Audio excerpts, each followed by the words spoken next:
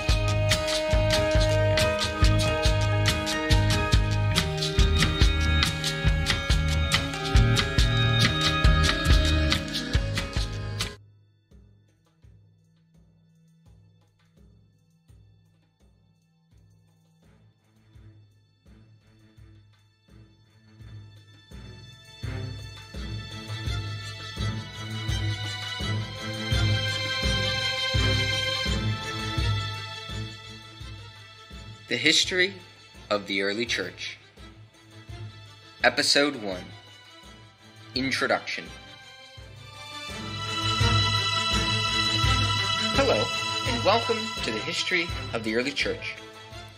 In this podcast, I plan to tell a detailed narrative of early church history from its founding to the Council of Chalcedon in the year 451 AD. I will be taking a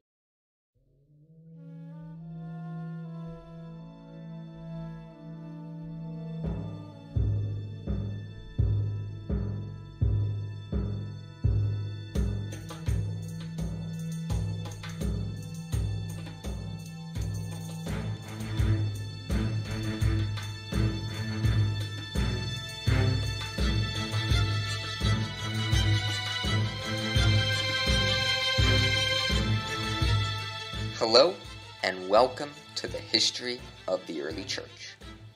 Episode 8 Apostolic Succession. First off, I'd like to thank Dr. Sebastian Brock for helping me with the resources for early Syriac Christianity. For those of you who don't know, Dr. Brock is the world's leading scholar in the English speaking world on Syriac Christianity. Thank you very much, Dr. Brock, for all your help. Last episode, we dealt with the aftermath of the Neronian persecution and the Jewish war. Today, we will close out the first century and start the transition from the apostles to the bishops. Unfortunately, our knowledge of church history in the 20 years or so following the temple's destruction in AD 70 is slim. However, that is usually the time most scholars assign the writing of parts of the New Testament. So, without further ado, let's fast forward to the 90s AD. Before we move forward in the narrative, we should take a look at how Christians were worshiping and practicing their faith in the late first century. The last time we looked at early Christian worship and practice was in episode 2, about 60 years ago. So, how did Christians practice in the late first century? When one flips through the New Testament, one looks in vain to find a single document that lays out how the liturgy is done, or how baptism is administered. There are hints and references, but none of the 27 books deals with the issues as their main focus. In place of this void, there is a remarkable document from the late first century that actually does lay out Christian praxis. This document's full name is The Lord's Teaching to the Gentiles through the Twelve Apostles, but is more commonly referred to as the Didache. The Didache is a redaction of various sources from the first and early second century. It contains instructions for catechumens, people preparing to be baptized, baptismal and Eucharistic rules, and apocalyptic elements at the end. On a whole, the document is the earliest example of what are called church orders. Church orders are guides and manuals on issues pertaining to church life. The text as it stands originated among Jewish Christians in Syria and shows close affinities to the Gospel of Matthew. The document opens with a discussion of the two ways, which serve as moral instructions for catechumens. Many of Jesus' teachings appear, such as loving and praying for one's enemies, and the two commandments Christ considered the greatest loving God with all your heart and loving your neighbor as yourself. Some of the most interesting parts occur in the discussion of the liturgy. A catechumen is to be baptized in the name of the Father, the Son, and the Holy Spirit in a river of running water. If running water is not available, then water is to be poured three times on the catechumen's head. Prior to baptism, both the catechumen and the person baptizing them are required to fast in preparation. In discussing fasting, Christians are told to fast on Wednesdays and Fridays, not on Mondays and Thursdays, which was when Pharisees and non Christian Jews fasted. It also tells Christians to say the Lord's Prayer three times a day.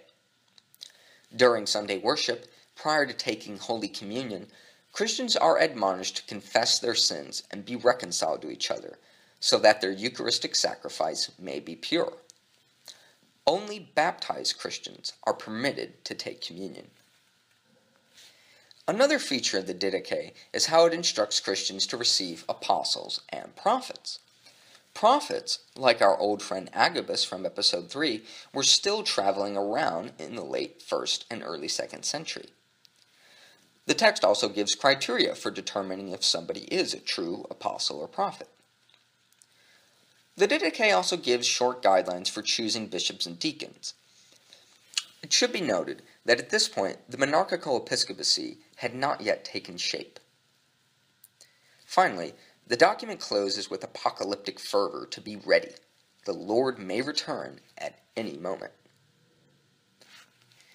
With that fascinating snapshot into the praxis of early Christians, let us move on in the narrative.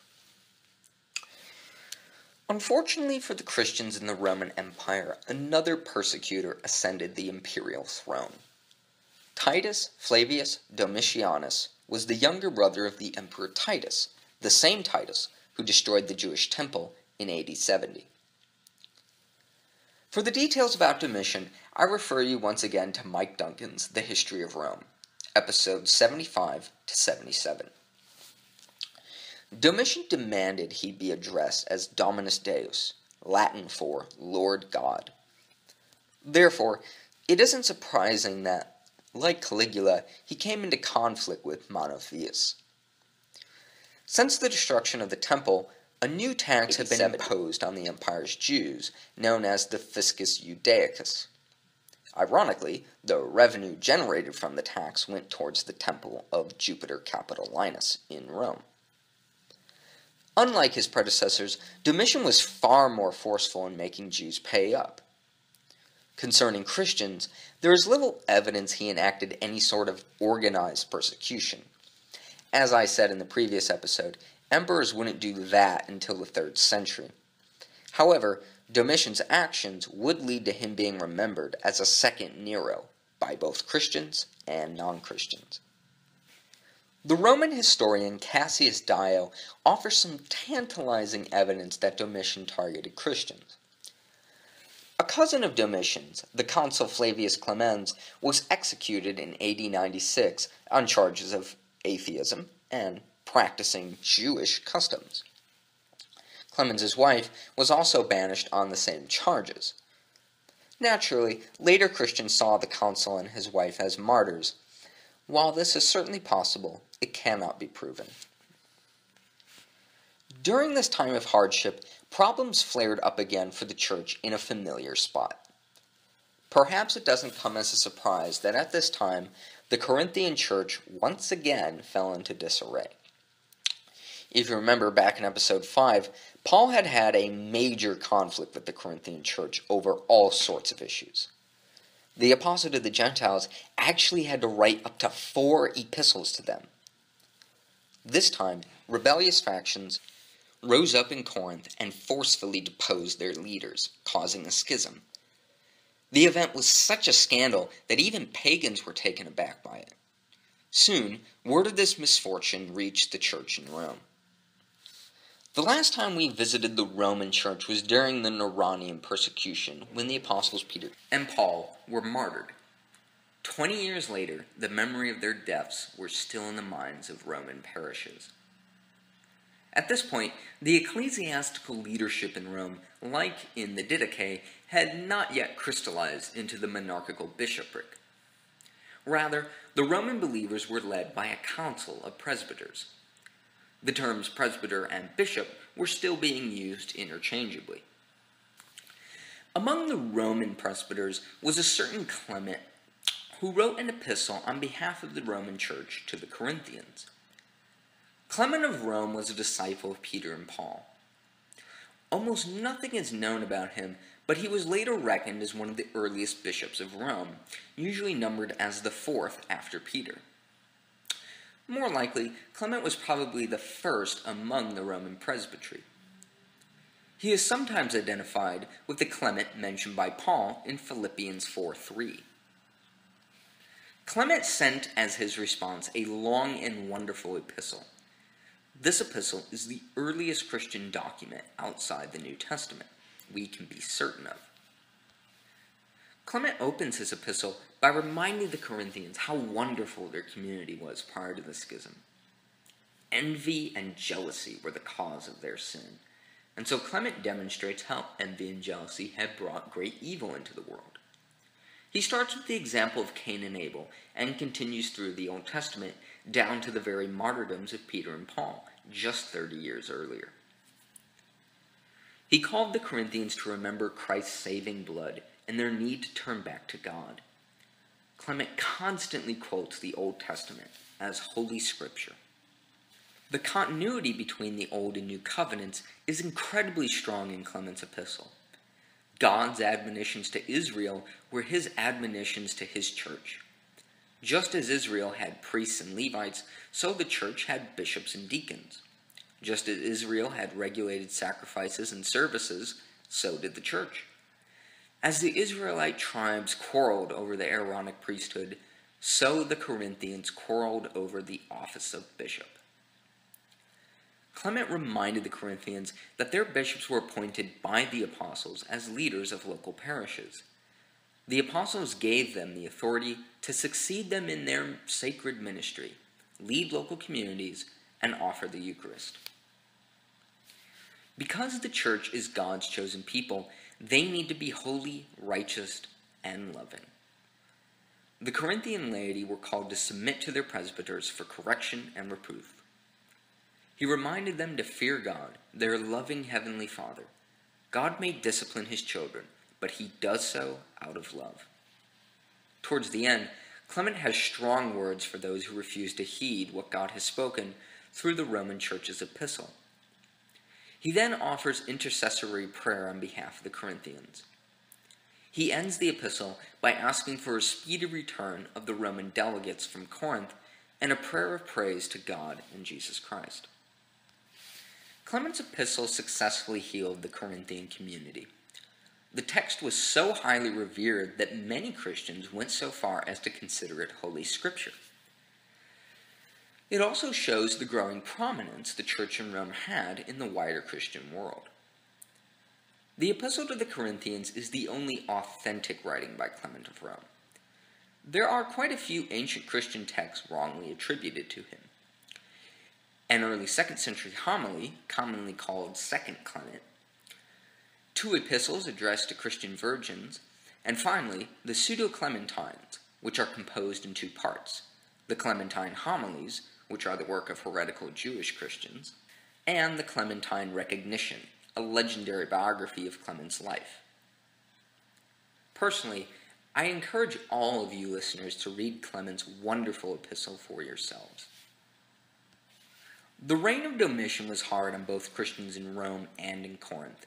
Clement empathized with the Corinthians in his epistle. But by far the strongest evidence for persecution under Domitian is the Apocalypse of John, also known as the Book of Revelation. Now, before I proceed, I should note that there are good arguments for dating the Apocalypse to Nero's reign. The book appears to say that the Jewish temple is still standing, and the identification of the beast and his number 666 with Nero Caesar is highly likely. Also, the judgment and fall of Babylon and the wars associated with the beast have many touch points with the destruction of Jerusalem in AD 70. For the sake of this episode, I will follow the conventional chronology, which has John writing the book under Domitian. Nonetheless, the date of the apocalypse is an interesting question, so I thought I'd throw it out there. At some point late in Domitian's reign, John the son of Zebedee was exiled to the island of Patmos. At least, I'm saying it was John the son of Zebedee. There are reasons to think that the writer of Revelation was simply a presbyter from Asia Minor, not the apostle. For the sake of convenience, I'm saying it's the apostle. But again, I encourage all of you to look in the matter for yourself.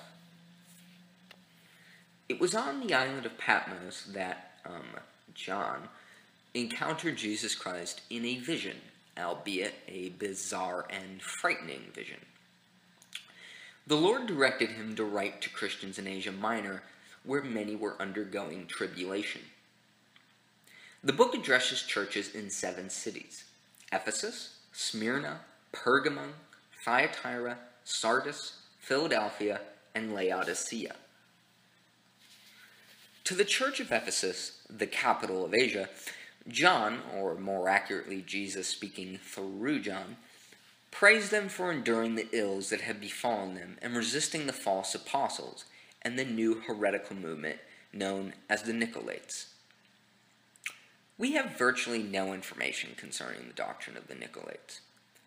A certain reading of Revelation may suggest they advocated some sort of sexually promiscuous lifestyle, but this could easily be allegorical, akin to how the Old Testament describes Israel as an adulteress when she worships other gods. However, there are some later fathers that suggest the Nicolaitans taught an eschatology which amounted to a great eternal orgy. The founder of the sect is usually identified as the deacon Nicholas. Besides that, there is nothing known about this early. The Ephesians were faulted, though, for not being as loving as they had been. They needed to repent, do good works, and return to their loving selves. The church in Smyrna was commended for not behaving like the false Jews, i.e., Jews who rejected the truth from the Christian perspective. The oppression Christians were receiving at the hands of non Christian Jews probably had something to do with Domitian pressing the Fiscus Judaicus so hard. As such, the Smyrnian Jewish Christians were the true Jews, the righteous remnant of Israel, an indicator that by the late first century, many Christians in Asia Minor still thought of themselves as Jewish. Christ also encouraged them that despite persecution, including imprisonment, if they persevered to the end, he would reward them with the crown of life. Another interesting fact is that at this time, if our chronologies are accurate, the Church of Smyrna was being led by their bishop Polycarp, whom we shall all come to know and love. Pergamum was the city that was home to a massive altar to Zeus, which is probably the throne of Satan referenced in Revelation 2:13. The fact that these Christians were in a strongly pagan city is reinforced by the mention of a holy martyr named Antipas. While no one in Pergamum had conceded to paganism by denying the faith, they had conceded to heresy by allowing the Nicolaites to teach in their midst. Thus, Christ called them to repent of the heresy and return to apostolic teaching. Three of the other four cities were falling short the most. For the Christians in Thyatira, Christ had one simple message stop tolerating the false prophetess Jezebel. For the faithful in Sardis, their good works were imperfect, and the believers had a facade of piety, but no real life in them. Yet, there were a few faithful Christians in Sardis who could hopefully lead their church to repentance. Laodicea also had spiritual failings. Their faith was weak and non-committal. On the other hand, the Philadelphian church was praised for enduring false Jews like the Smyrnians. The rest of Revelation is an exciting cosmic drama about the end times, and so I recommend reading and researching it for yourself. While not everyone always finds it the most spiritually rewarding book, no one can say the Apocalypse of John is not interesting reading. The bizarreness of the book's content would cause it to have a hard time making the New Testament canon cut. But we'll see that in a later episode. At some point late in his reign, Domitian's characteristic paranoia caused him to seek out members of the House of David in Judea. This obviously included relatives of Jesus himself, who were the leaders of the Jewish mother church.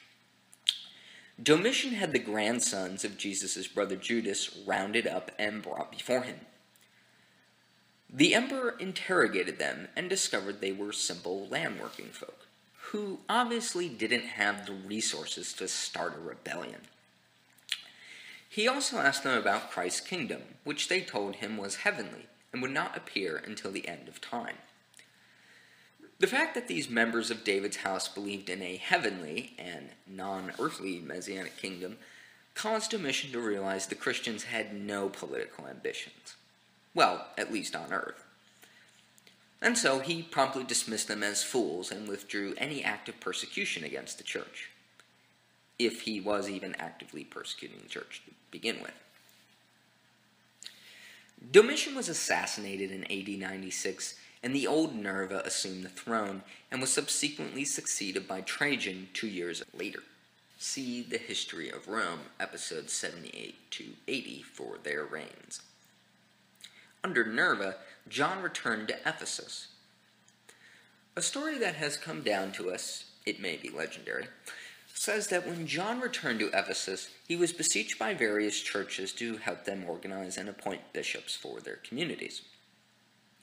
At Smyrna, John left a young Christian man in the care of the local bishop, presumably our friend Polycarp. But the young man, despite the bishop's care, fell into grave sin and apostasy, eventually becoming the leader of a gang of bandits John returned to discover what had happened to the boy and set off to find him. When the apostle arrived at the place the young man was, the bandits seized him. John did not resist, but stated that he had come simply to see their leader. When the young man saw John, he was ashamed and fled. Despite his age, John ran after him and boldly expressed his love for the young man, saying how he would suffer on his behalf even go so far as to give his own life for him, and that he would testify on behalf of him before Christ himself. After hearing his old spiritual father's words, the young man fell down and wept.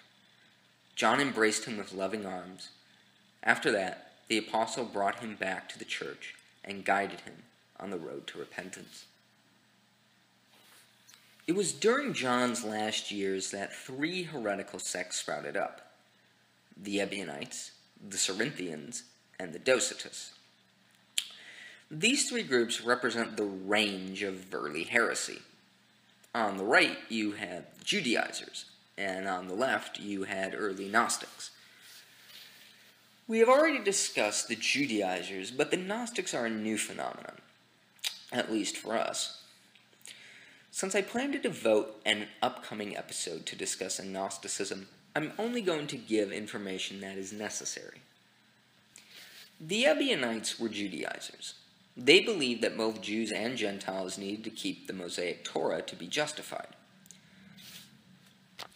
But in addition to this heresy, they also believed that Jesus, while Messiah, was not the divine word and wisdom of the Father made flesh. They taught that Jesus had been born naturally by Joseph and Mary, not the virginal conception by the Holy Spirit. The only scripture we know for sure they held to was a Gospel of the Hebrews, which may have been the original Aramaic Gospel of Matthew. As you can probably guess, they completely rejected Paul and his epistles. There are, are, traditions, as I mentioned in the previous episode, that connect the origin of the Ebionites with the disgruntled Theobophus, the man who lost out to Simeon for the bishopric of Jerusalem, as well as the Jewish Christians who stayed in Pella when Simeon led the church back to the holy city. On the other side of the heresy scale were the Docetists. Docetism was an early form of what is commonly called Gnosticism. In basic, Gnosticism posits a dualist cosmos between a higher material spiritual world and the evil or inferior or irrelevant material world. Spirit good, matter bad. The spiritual world was home to the real supreme deity, and the material world was created by a lesser being.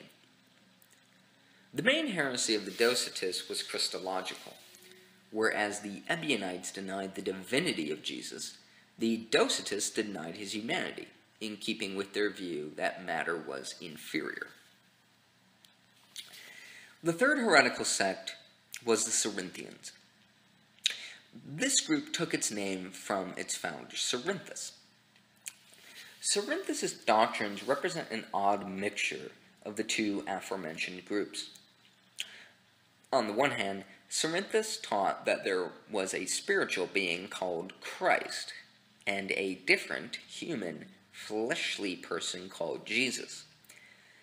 At Jesus' baptism, Christ came down in the form of a dove from the supreme God and descended on Jesus, the man.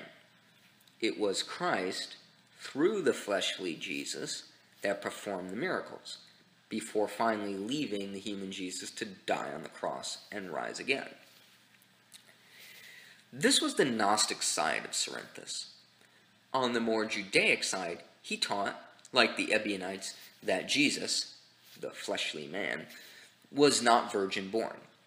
He also taught that in the end times there would be a literal millennial kingdom in Jerusalem that would consist of all sorts of lustful orgies, drinking, and physical pleasures. There is also evidence he taught animal sacrifice would be resumed in the end times. Because of his millennial teachings, some later believed Cerinthus was the real author of Revelation. The controversy in the early church over how to understand the thousand years we will explore in future episodes. The Johannine writings of the New Testament appear to be responding to all these groups. Hence, the Gospel of John is strong in its Eucharistic language about Jesus' flesh and blood being real, contra the Docetist.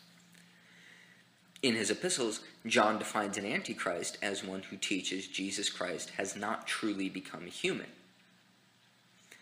Against the Ebionites, the Gospel of John also not only emphasizes the humanity, but also the divinity of Jesus as the Word of God the Father made flesh. At one point, John himself went to the local public baths, probably with Polycarp, and found that Cerinthus was there.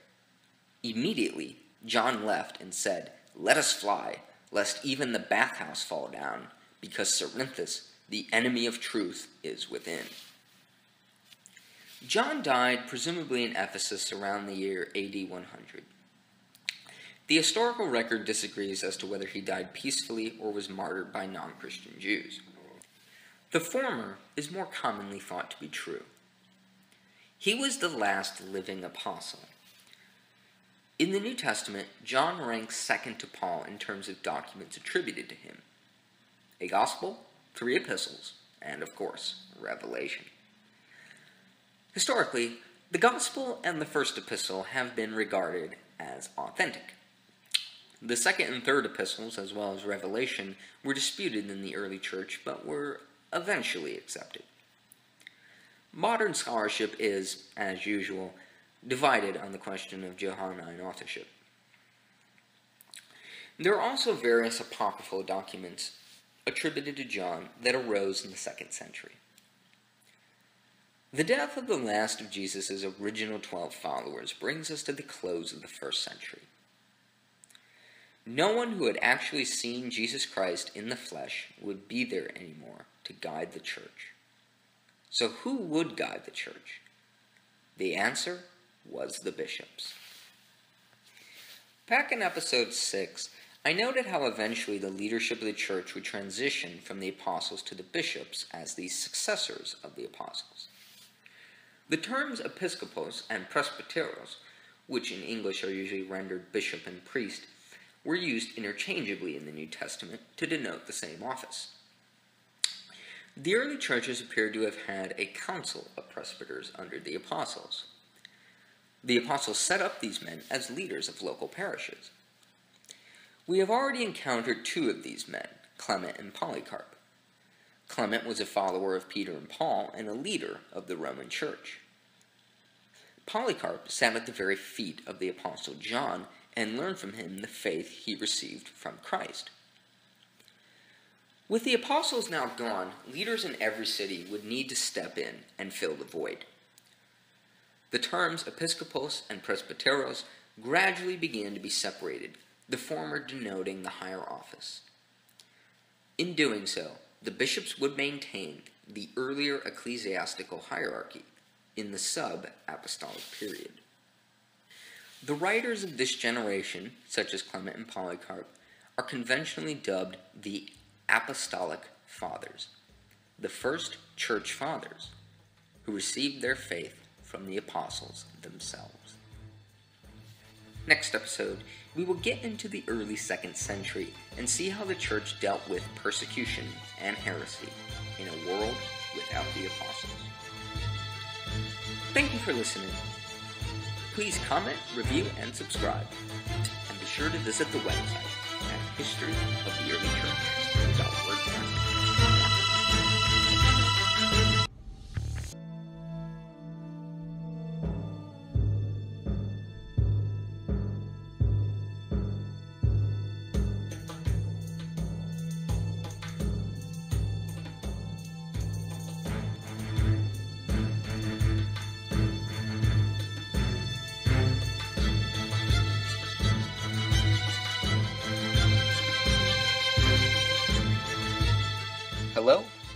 welcome to the History of the Early Church. Episode 9 Fathers, Martyrs, and Apologists. Last episode, we looked at the church during the last days of the Apostle John at the close of the first century. Today, we begin the second century and continue along the transition from the apostles to their successors. The first person we shall discuss is Ignatius, the Bishop of Antioch. Ignatius had been a disciple of John and Peter and was also thoroughly acquainted with Paul's epistles. In AD 107, he was arrested and sent off to Rome to be martyred, possibly in the Colosseum. The exact circumstances of his arrest are unknown, and later accounts of his martyrdom are unreliable. After his arrest, the soldiers took him to Smyrna, where he visited his good friend Polycarp, the local bishop. While there, Ignatius wrote epistles to the churches of Ephesus, Magnesia, and Troas. After leaving Smyrna, he was taken to Troas, where he wrote more epistles to the churches of Philadelphia, Smyrna, as well as a personal letter to Polycarp himself. Ignatius intended his letters to give strength and support to the Christians in Asia Minor, and to combat heresy. Both the Judaizers and the Docetists were still active at this time, threatening the purity of the apostolic faith. As a quick refresher, the Docetists were proto-Gnostics, who taught Jesus Christ was divine but only appeared to be human, his flesh merely a facade. In response, Ignatius says this about Christ. There is one physician who is possessed of both flesh and spirit, both made and not made, God existing in flesh, true life in death, both of Mary and of God, first passible and then impassible, Jesus Christ, our Lord. Ignatius, like the Apostle John before him, argues heavily for the reality of Jesus' incarnation, that God truly did become flesh. There is one Lord, Jesus Christ, who is both eternal and created, both deity and human. Ignatius relates events such as Jesus' birth to Mary, his passion under Pilate, and of course his crucifixion and resurrection.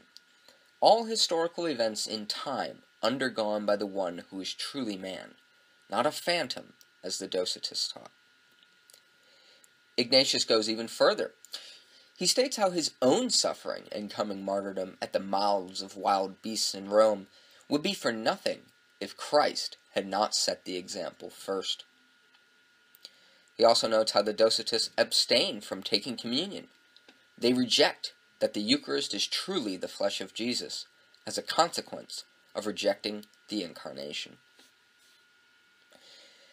Ignatius also exhorts the Christians of Asia Minor to be faithful to their bishops. Indeed, he states how the bishop is to be reverenced, like Christ himself. However, for Ignatius, the bishops are not the successors of the apostles. Instead, the apostles are part of the heavenly hierarchy, which is typologically replicated by the church's ministers on earth. On the one hand, there is God the Father, His Son and Word Jesus Christ, and the apostles. On the other hand, there is the bishop, his priests, and the deacons. The bishop is to be obeyed, and nothing in the church's parish life is to be done without his authority, or the priests he delegates, especially the Eucharist and the agape feasts. Ignatius is the first witness to many things in the early church. He is the first writer to refer to the church as Catholicos, or Catholic, meaning universal and whole. He is the first to explicitly delineate the threefold hierarchy in the church of bishop, priest, and deacon. He is also, therefore, the first to explicitly differentiate uh, the episcopos from the presbyteros as two distinct offices, one superior to the other. The other group Ignatius needed to combat were the Judaizers. Interestingly enough, the Judaizers here are probably Gentiles, not Jews. These Gentile Judaizers most likely were guilty of trying to impose aspects of Mosaic law such as Sabbath observance, or giving the Old Testament a higher authority than the teachings of Jesus himself. For Ignatius, this preaching of, quote, Judaism ran counter to the Lord's grace Christians had received. Interestingly enough, though, he includes some Jewish Christians as being among those who hold to the true faith, even while drawing a clearer distinction between Judaism and the Gospel. Ignatius's epistle to the Roman Christians is perhaps his most emotional. The bishop looked forward to seeing them, but pleaded with them not to interfere with his coming martyrdom. The bishop eagerly awaited his passion, desiring to suffer as Christ suffered, to die as the Lord died. For Ignatius, only now was he beginning to be a true disciple. Just as the Corinthians accorded the Roman Church a high regard, so too did Ignatius. He states that the Roman Church presides over in love. Unlike his other six epistles, the letter to the Romans is not addressed to the local bishop. As we saw earlier with Clement, the Roman Church, unlike Jerusalem, Antioch, or the churches of Asia, had not yet transitioned into the more centralized episcopacy. The details of the final fate of this holy man are unknown. He was brought to Rome and eaten alive, presumably, by wild animals, perhaps in the Colosseum itself, in the year AD 107. Not long after Ignatius's martyrdom, his friend and fellow bishop Polycarp was asked by the Church of Philippi for help.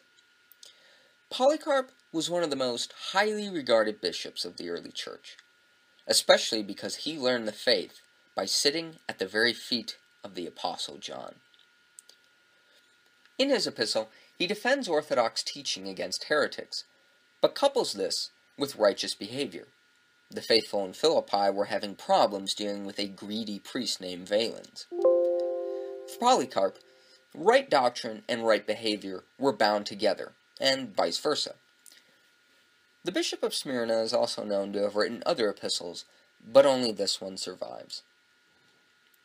We will leave Polycarp for now, as we will encounter him again in a future episode. Another disciple of John and friend of Polycarp was Papias. He was the bishop of Hierapolis in Asia Minor. Hierapolis was the place where the apostle Philip and his two prophesying daughters had been buried. Papias wrote a five-book work entitled Exegesis of the Sayings of the Lord, which unfortunately has only survived in fragments.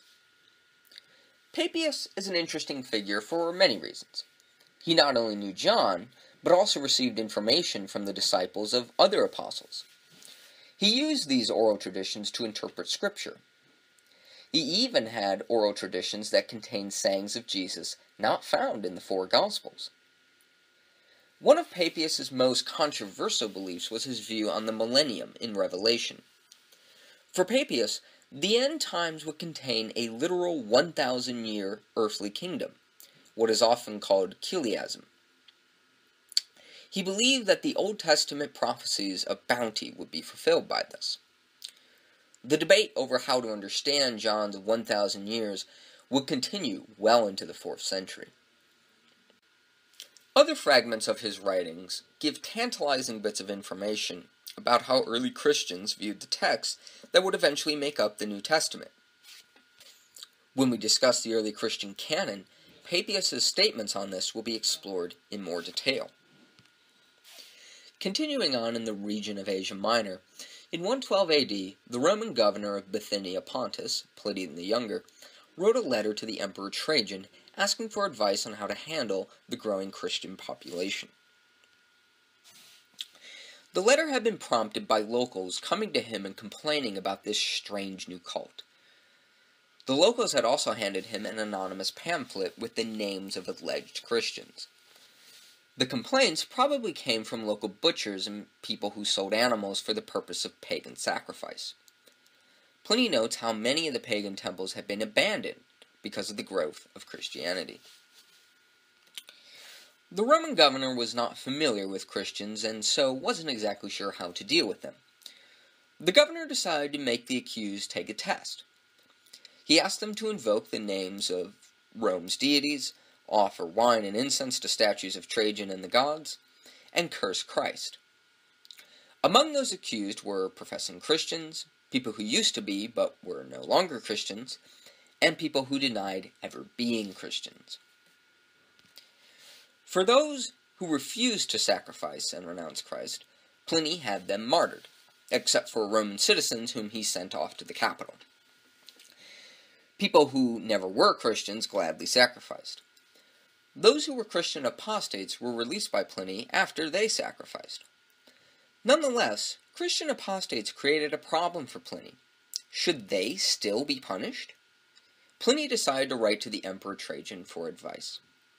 See, Pliny had discovered information about Christianity from the apostates, as well as from torturing two deaconesses. He was surprised Despite all the horrible things Pliny had heard about this strange new religion, he discovered that Christians committed no real crimes like cannibalism or adultery.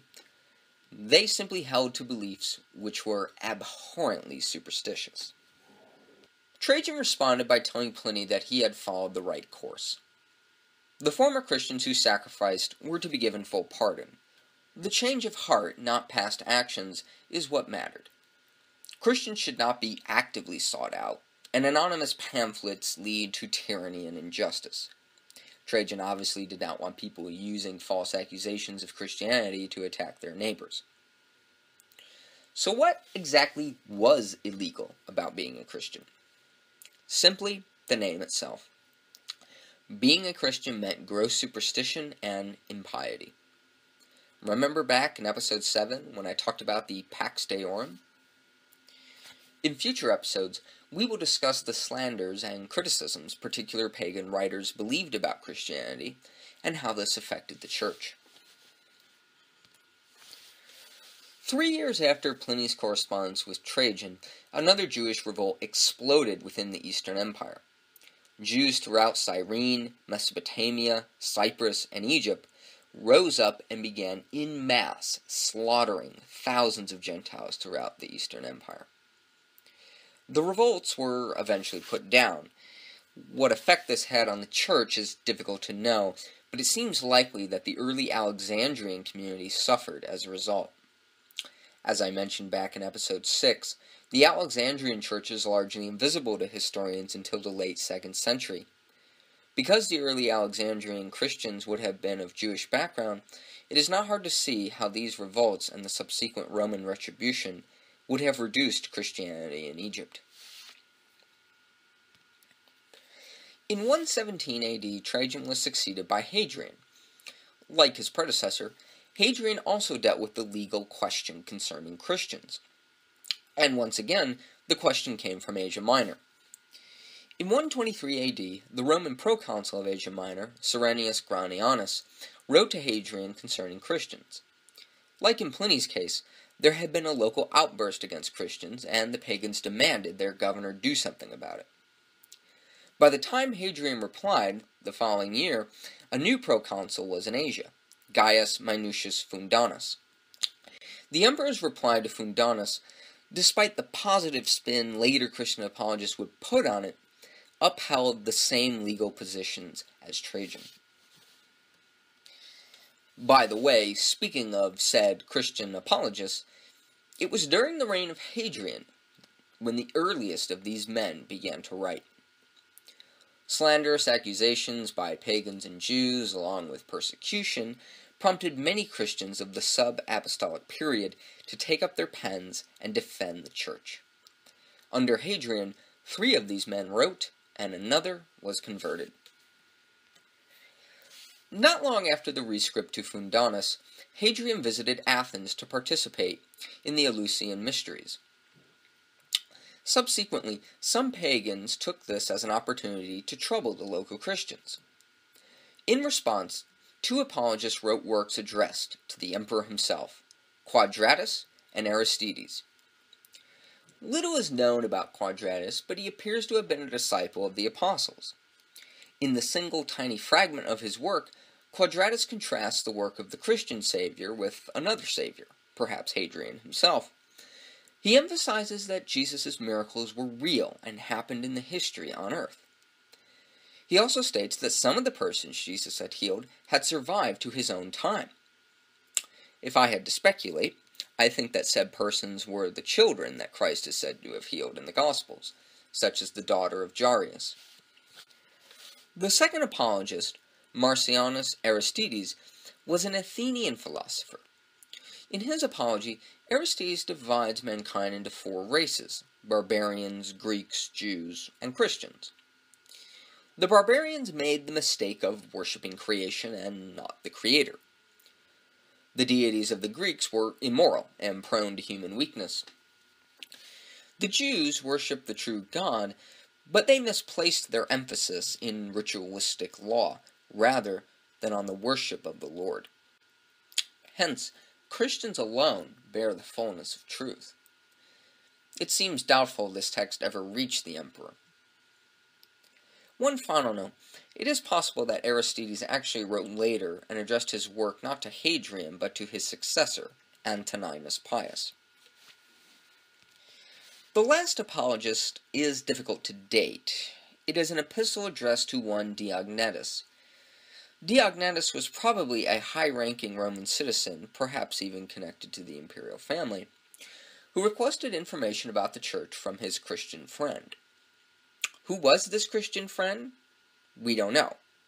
But there is a theory that the epistle to Diognetus is none other than the rest of Quadratus's apology, and that Diognetus was Hadrian himself.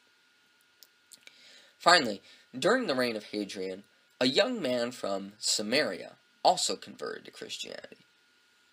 In time, he would become one of its greatest apologists.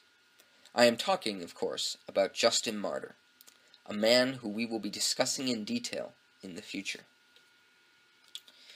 The church was clearly growing in the time of the Antonines. Hadrian had issued a rescript that, while it did not legalize Christianity, it also reaffirmed the status Trajan had laid down. Some scholars think that because of Hadrian's religious policies of promoting philosophical schools, some Christians saw this as an opportunity for the church to find a place in the elite intellectual culture of the Greek East. During Hadrian's reign, at least one and possibly two apologists had written to him personally. Based on all this, you may start to get the feeling that Christians could have higher hopes during Hadrian's reign if you were a Christian in, say, Jerusalem, then you are about to be in for a very rude awakening. Next episode, we will journey back to Judea and look at the situation of the Jewish Mother Church, her relationship to her fellow Jews, and how the worlds of both would be utterly transformed by yet another Jewish war against Rome. Thank you for listening. Please comment, review, and subscribe. You can email me at historyoftheearlychurch at gmail.com, and don't forget to check out the website at historyoftheearlychurch.wordpress.com.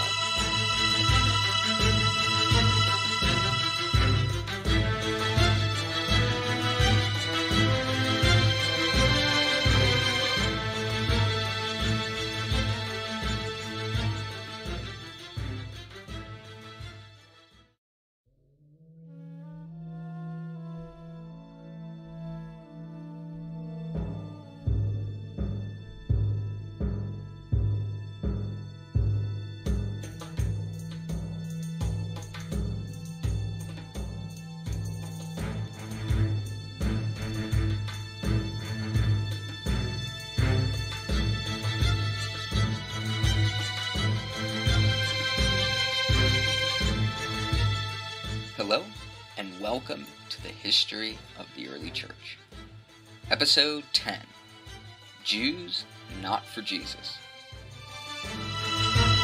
Last episode, we looked at how the apostolic fathers and early apologists like Ignatius and Aristides dealt with heresy, persecution, and parish life. We also saw how the emperors themselves handled the legal question of the church. In this episode, we return to the Holy Land. In 132 AD, another great revolt against the Roman Empire broke out in Judea. This war was even larger than the previous revolt. Simon bar Kokhba was hailed as Messiah by many rabbis in Judea. For the next three years, he waged war against Rome and set up a kingdom. But before we dive into that conflict, we need to take a few steps back to examine the state of the Jerusalem church on the eve of the revolt. As I noted back in episode 7, after James's martyrdom, his cousin Simeon bar Cleopas was made bishop of Jerusalem. The Jerusalem church fled the city during the first Judean revolt and migrated to Pella on the other side of the Jordan.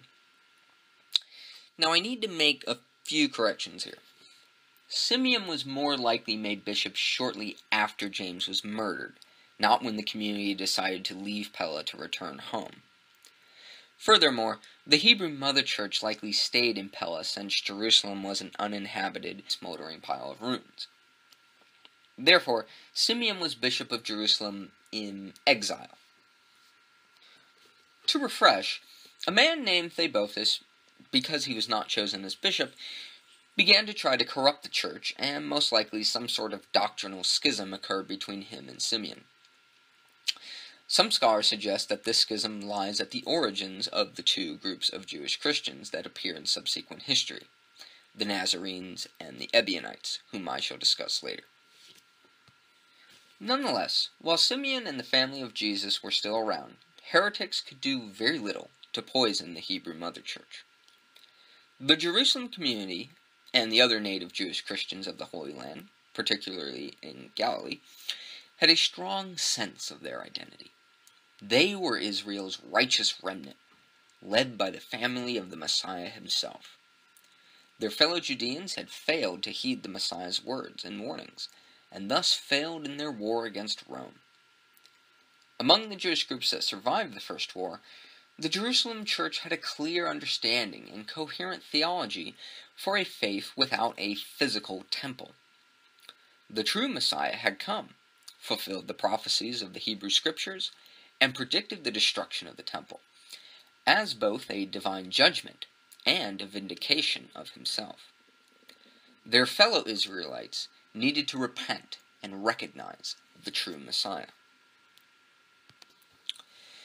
As we saw in episode 7, the rabbis, heirs of the Pharisees, were also producing a theology for a temple less Judaism. The actions of the rabbis in defining a new Jewish orthodoxy would do much in the way of separating the church from Judaism. Again, to refresh, in the late first century, the rabbis held a council in Jamnia, which forbid the Septuagint and the new Christian scriptures.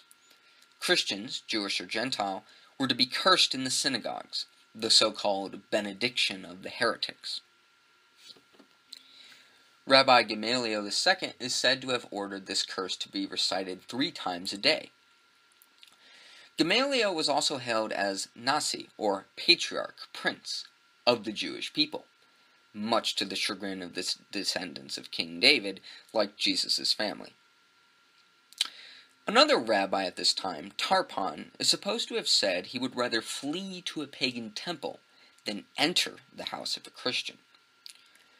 The Christian scriptures, the texts which would become the New Testament, Tarfon is recorded to have said he would burn, even if God's name was written in them.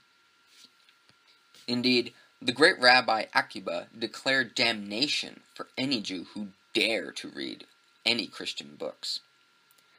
Simeon may have been a great Jewish leader, but his contemporaries, Ben Zakkai, Gamaliel II, and Akiba, were determined enemies.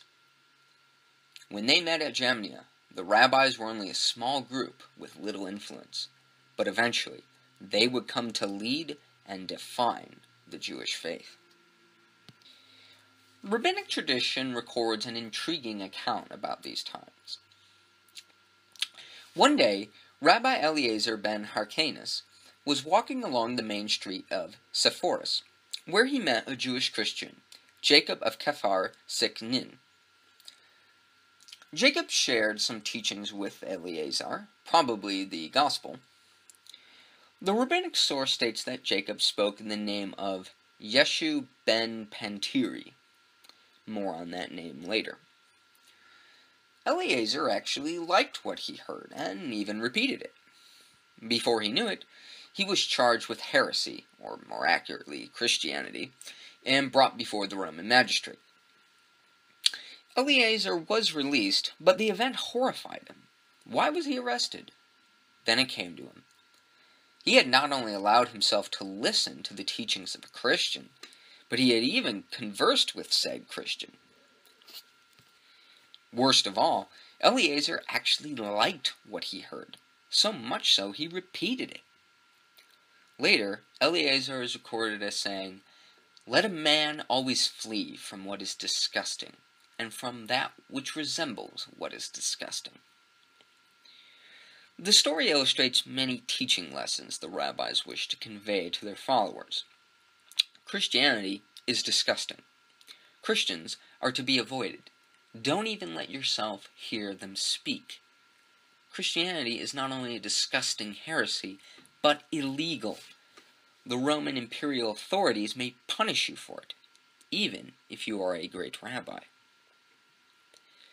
The rabbis were determined to drive a big hulking wedge between the accursed followers of Jesus and themselves.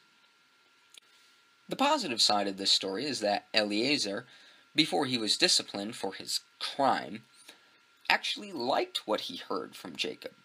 He actually found Christian teaching pleasing, something that horrified himself and his colleagues. Another negative facet of this story is the reference to Jesus as Yeshu ben Pantiri. The name is a double insult to Jesus himself. Yeshua is Jesus' actual Semitic name, whereas Yeshu is a Hebrew acronym that curses him. The son of Pantiri is a reference to one of the rabbinic slurs about Jesus' family. That Jesus was not virgin born, but the product of an adulterous affair between Mary and a Roman soldier named Pantera. Over the next few centuries, the rabbis would further develop a sort of counter narrative to the Christian gospel, which attacked Jesus personally. We will explore this in the future. Simeon was eventually martyred around the same time as Ignatius of Antioch. Just as Domitian, when he investigated Jude's grandsons, Trajan too was concerned about Davidic messianism. Some of the followers of Theobothus accused Simeon of being a Davidic descendant. The schismatics were themselves Davidites, and so were probably trying to both get revenge on Simeon and avoid persecution. Upon hearing this about Simeon, the Roman governor of Judea, Atticus, ordered the Hebrew bishop to be tortured. At this time, Simeon was alleged to have been 120 years old, the Torah's limit on human life, and the age of Moses. In rabbinic tradition, Ben Zakkai and Akiba were also said to have lived this long, further reflecting the rivalry between these two Jewish groups. Despite his extreme old age, Simeon endured all the torment Atticus laid upon him. Simeon's endurance bore witness and amazed all, even Atticus himself. The governor finally had had enough and ordered the Israelite saint to be crucified. And so, Simeon bar Cleopas, cousin of the Messiah, heir of James the Righteous, and Bishop of Jerusalem for over 40 years, earned the crown of martyrdom.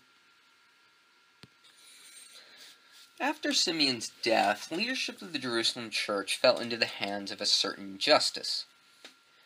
The sources here, though, present a problem. Between Simeon's martyrdom, about the year 107, and the end of the Second Jewish War, 135, 13 Hebrew bishops are said to have reigned in this 28 year period, which would make them all, on average, bishops for only two years each. This seems dubious. Were they all just very short lived? What's going on here? A convincing explanation put forward by Richard Bauckham is that Justus was the actual presiding bishop, and the other twelve bishops formed something of a council. Now that we are finally caught up, it's time to return to AD 132, when the Second Jewish Roman War began. Rabbi Akiba came to believe that a man named Simon bar Kosiba was possibly the Messiah, and so changed his name from Bar Kosiba to Bar Kokhba, meaning son of the star, a reference to the messianic prophecy in Numbers 24:17. A star shall come out of Jacob, and a scepter shall rise out of Israel. If you want a more detailed account of the war, see episode 83 of Mike Duncan's The History of Rome. May his bones be crushed. As far as we are concerned, Bar Kokhba rebelled in 132 AD and ruled Judea as Nasi, or prince, for three more years, until Hadrian's legions finally defeated him. The causes of the war are disputed. Hadrian at some point refounded Jerusalem as a new Roman colony, Aelia Capitolina, a pagan city. A temple to Jupiter was built on the Temple Mount, and circumcision was outlawed. Were these measures taken before or after the revolt? Personally, I am inclined to think before, and so these measures provide the catalyst for Bar Kokhba's war. The results of this war for the Hebrew Mother Church were catastrophic. The first of these consequences was Bar Kokhba's persecution of Jewish believers. The reason for Bar Kokhba's persecution were probably twofold. On the one hand, it was Akiba and the rabbis who backed his messianic claims, and we all know how the rabbis felt about the church. Second, Bar Kokhba believed himself to be God's Messiah, which in effect meant that to not support his war, or to acknowledge his claim as Messiah, was treason against the nation of Israel. The church did both. The Christians of Judea, just as in the first revolt, did not participate in the war, and the Jewish Christians already acknowledged Jesus of Nazareth as Israel's promised king. In the eyes of the rabbis and their Messiah, Jewish Christians were the worst of traitors. Bar Kokhba took severe actions against any Jew who did not support him. Remember how zealous Paul had been to persecute the church back in episode 2? Dissident Israelites were worse than pagans themselves. Christians, particularly in Galilee, suffered greatly. Bar Kokhba ordered that unless Christians denied Jesus was the Messiah, he would subject them to cruel punishments. An apocryphal Christian text, the Apocalypse of Peter, appears to have been written by a Jewish believer during Bar Kokhba's persecution. The text portrays the Jewish Christians as the righteous remnant of Israel, the true heirs of Abraham, Isaac, and Jacob. Bar Kokhba is viewed as a wicked messianic pretender. Their ethnic brethren were united against them under a false Christ. Another objective of Bar Kokhba's was to capture Jerusalem and rebuild the temple. Jewish Christians obviously gave no support to this either. Jesus had prophesied its destruction. The Apocalypse of Peter presents God as promising Jesus' followers entrance into the heavenly temple. In the end, Hadrian defeated the rabbinic savior. The loss of life on both sides was enormous. Judea was renamed Palestina after the Philistines, Israel's ancient enemy. Abrahamic Jerusalem would remain pagan Aelia Capitolina until the time of Constantine. Jews were forbidden to enter Jerusalem or the neighboring area, a, a prohibition that would stand until the end of Roman rule in Palestine, when the armies of Islam took the city 500 years later. The ban also applied to Jewish Christians. After the war, there were no longer Hebrew bishops of Jerusalem, but only Gentile bishops of Aelia Capitolina. From this time forward, Jewish Christians play a minor role in our story, popping up infrequently here and there. Jerusalem, as a center of Christianity, decreased in importance. The church at large would no longer look to the holy city for leadership and guidance as they once had. What happened to the Jewish Christian survivors? As I alluded to earlier, the two groups of Jewish Christians that appear in subsequent history are the Nazarenes and the Ebionites. The Ebionites were a heretical group of Judaizers. Their origins perhaps lie in the schismatic Theobothus, or even earlier, with the Judaizers the Apostle Paul had to combat. The Ebionites rejected Paul and all his teachings. To them, he was the arch heretic. They held to the Gospel of Matthew in its original Aramaic version. They believed that both Jews and Gentiles needed to keep the Torah to be justified. Finally, they denied the divinity of Christ and the virgin birth. To the Ebionites, Jesus was a mortal man, the natural son of Joseph and Mary, and adopted by God as his son during his baptism. The reason they rejected the virgin birth, besides rejecting Jesus' divinity, was the importance of Jesus' biological descent from David. If Joseph was a descendant of David, then Jesus needed to be his natural son, to also be the son of David. That is who the Ebionites were. The other group was the Nazarenes. The Nazarenes, while they kept the Torah, did not believe Gentiles needed to keep it. As far as doctrine was concerned, they were in agreement with the church at large. They accepted Jesus' divinity and the Apostle Paul. The Nazarenes were thus the descendants of the apostolic Jewish church, led by James and Simeon and Justus. What happened to them? Well, they moved again, this time up north into Syria. Berea in Coele Syria, Aleppo, and Laodicea by the river Orontes. Laodicea is below a coastal mountain range, which is still known today as the Valley of the Nazarenes. The subsequent history of the Nazarenes is one of the most tragic outcomes of the so called parting of ways between Christianity and Rabbinic Judaism. While the rabbis hated them as traitors and heretics, Slowly over time, Gentile Christians would begin to regard them as heretics too, because of their observance of Mosaic law. While some early Gentile writers regarded the Nazarenes as part of the church, as the centuries progressed, more would come to see them as schismatics. We will see this shift in future episodes. Speaking of the parting of ways, the Bar Kokhba revolt represents a turning point in the relationship between Christianity and Judaism.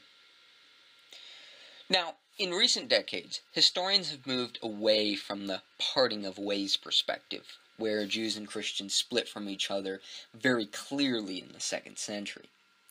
Instead, scholars today tend to emphasize how Jews and Christians continue to interact and influence one another well into the 4th century, Christians would still be attracted to Judaism. There are instances where ordinary Christians and Jews, despite the wishes of bishops and rabbis, mingled with one another, even leading to degrees of religious syncretism. But despite all this, it is hard not to see the Bar Kokhba revolt as the culmination of deteriorating Jewish Christian relations. Jesus had disputed Judaism with the Pharisees and the Sadducees. Some among these groups became enemies of his and were highly involved in his crucifixion as a false prophet and messianic pretender. The subsequent gospel proclamation by the apostles of his resurrection and the salvation he offered was met by some Jews with acceptance, but others with violence. Paul was repeatedly persecuted across the diaspora. The execution of James the Apostle was met with approval, and the brutal martyrdom of Jesus' brother James demonstrated the depth of this resentment. Non Christian Jews in Rome distanced themselves from the church, making it easier for Nero to persecute. After the First War, the rabbis were intent on creating a Judaism where Jesus of Nazareth and his followers had no place.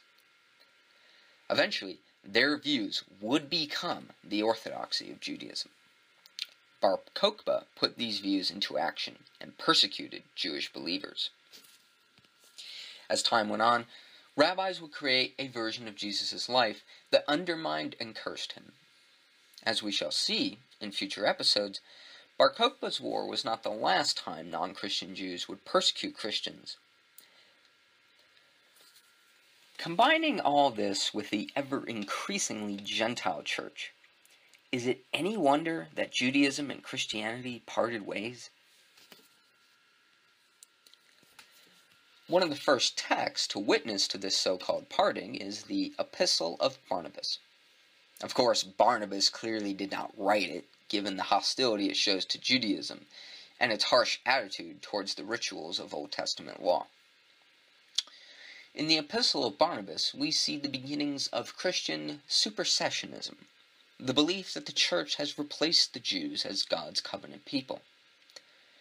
The rabbis repudiated any claims by Christians, Gentile or Jewish, to be God's people. Now the church would start to say the same thing back, but in reverse. The calamities of the Jewish wars against Rome served to reinforce this view. If God's people were still the Jews, why did he not save the temple from Titus, or rescue the nation from Hadrian's wrath?